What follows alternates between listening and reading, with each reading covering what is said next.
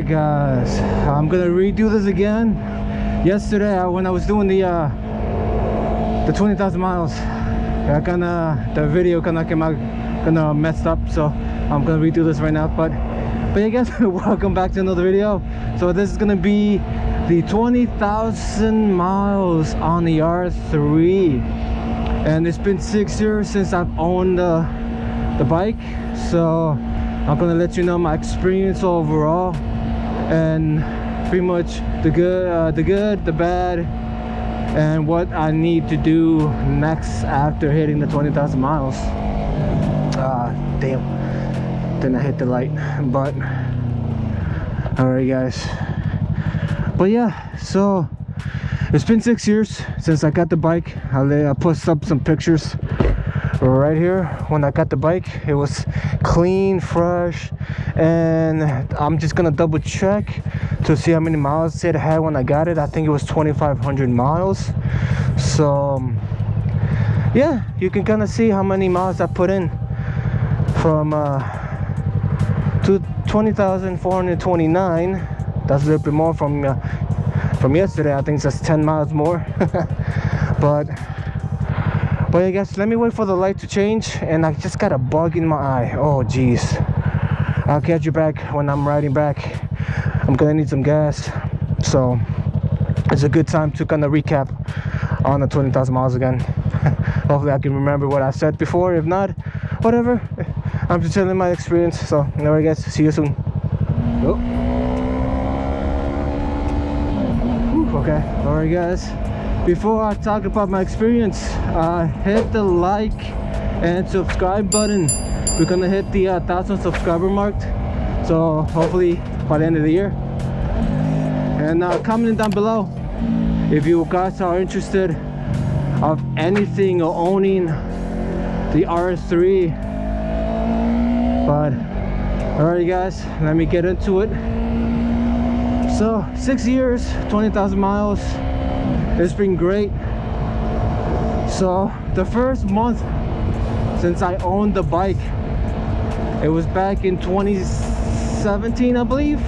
I'll double check. I'll put it up here. But literally the first month since i had the bike me and my buddy decided to go on a long trip. It was to yellowstone so i'll post up some pictures here of uh, the trip along the way we stopped at a, a, good views scenery and along the way we actually went through some indian reservations. Like you can kind of see on the picture right here the huts the land. It was a beautiful sight. So but along the way it was cold because we went through over a mountain and at the time it was barely winter was breaking. So we decided uh, along the way to go buy some uh, jackets and luckily the Indian reservation was there so we bought some uh, it looks like not handmade but some good jackets I'll say. It's like they had some embroidery on it like with their logo of their tribe. So if i can find a picture or if i can find a jacket i'll take a picture and post it up right here. But it, it was pretty fun. All right guys so yeah. We got the jackets we went through the reservations and the first stop that we went or the first scenery that we stopped along the trip it was Mount Rushmore.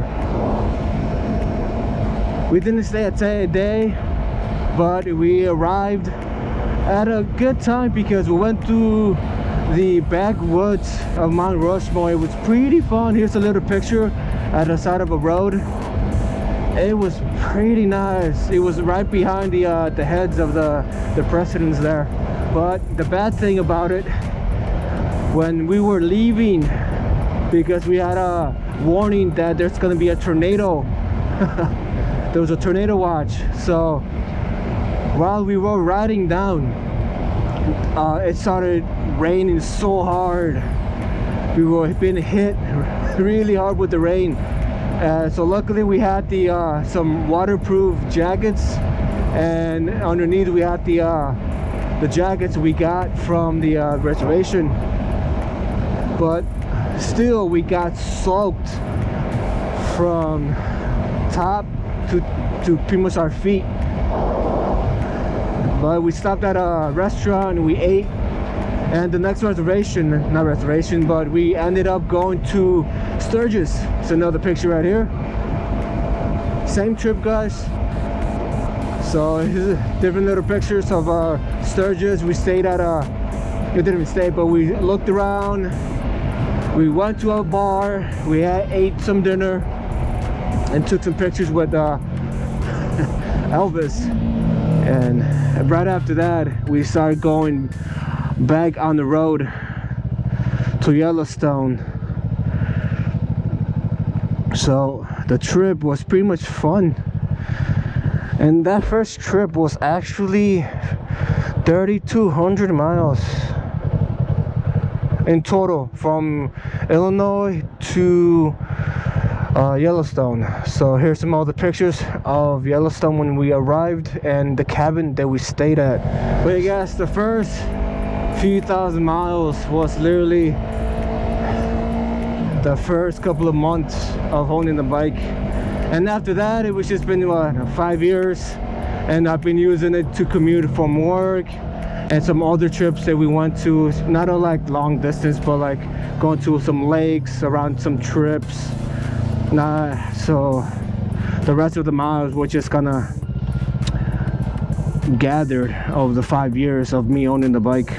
You can kind of see throughout the years with my videos I've been uh, kind of gone through it with the bike of breaking it fixing it modifying it if you guys want to see any kind of videos like that I, I've done a lot of like replacing the rear sets the levers the mirrors even the oil pan. Um what else? A lot of stuff guys. But uh, the next steps guys because hitting 20,000 miles and if you have read the owner owner's manual you'll be able to see that when you hit 20,000 miles on the R3 it's pretty much time to change the chain. It's already been a while and I know it gonna needs it. So when I'm gonna change the chain I'm gonna change the sprockets and I'm gonna do some oil change or the brake fluid actually because it needs it. It's been a while. I know I've not done it so gonna do it all in one. So if you see if you want to see those kind of videos guys subscribe. Comment down below if you what what do you want to see first. I'll make that video first. But for right now I'm planning of pretty much doing the chain sprockets uh, then the brake fluid. Then I have some other parts too like even the new fairings for the bike so be interesting guys. So subscribe you want to see anything else being uh, being made or my DIY projects. So yeah guys that's my experience pretty much owning the bike for the past six years and hitting 20,000 miles on the bike. I'm still gonna keep the bike. I'm just gonna add to my collection. My next bike is gonna be uh, probably an R4 oh not R4 a Kawasaki Ninja 400 uh, maybe a 650 but who knows? That's gonna be a separate kind of video but guys. 20,000 miles on a 2015 Yamaha R3 it's been fun. Let's see what's the next 20,000 miles gonna be like because I know I'm gonna keep this for fun. I'm just thinking about all the bigger bikes because I want to take longer trips. And for the R3 that's a long trip kind of bike you could do it. Like I did went to one to Yellowstone. But would I recommend it going on a long trip? I wouldn't.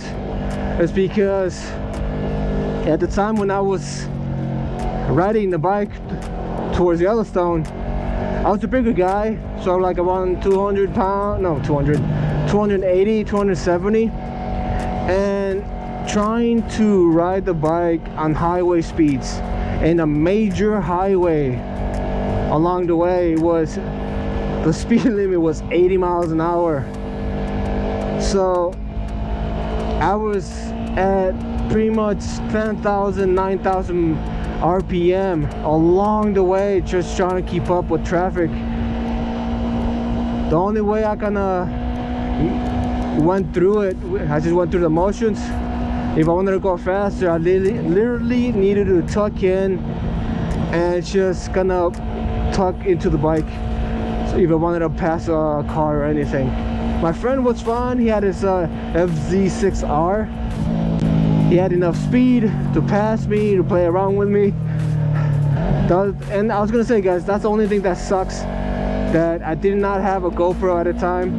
Because if I did I would have uh, recorded it vlogged it and kind of shown everything along the trip. So that was kind of one of the reasons I started this channel to kind of show the experience of riding. It was pretty fun guys but there we go. My experience with the R3 for another long distance trip I'm gonna probably get a 650 ideally a thousand cc's like the uh, the Kawasaki Ninja 1000 SX or the Gixxer 1000 or my dream bike will be the Kawasaki Ninja S what was it H2 SX SE plus? That's a touring ver the version of the H2 it has saddlebags everything's like uh, what's it called? Grip warmers cruise control but that is a pretty pricey bike but probably for kind of bike probably the 1000 SX Kawasaki.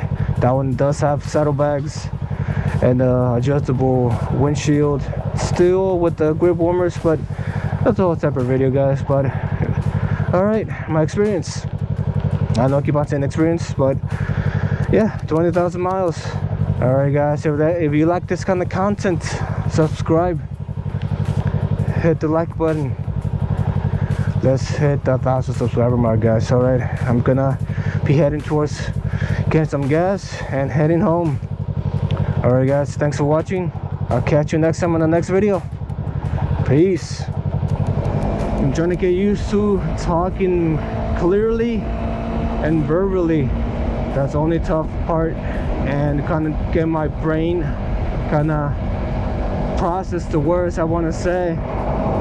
So uh, I don't cut I don't have to cut too much and cut off too many uh, ums and so's and but you guys if you've seen this kind of end of the clips right there thanks for watching. You're the real ones. I'm just trying to be better vlogger and a better communicator. All right guys thanks for watching. I'll see you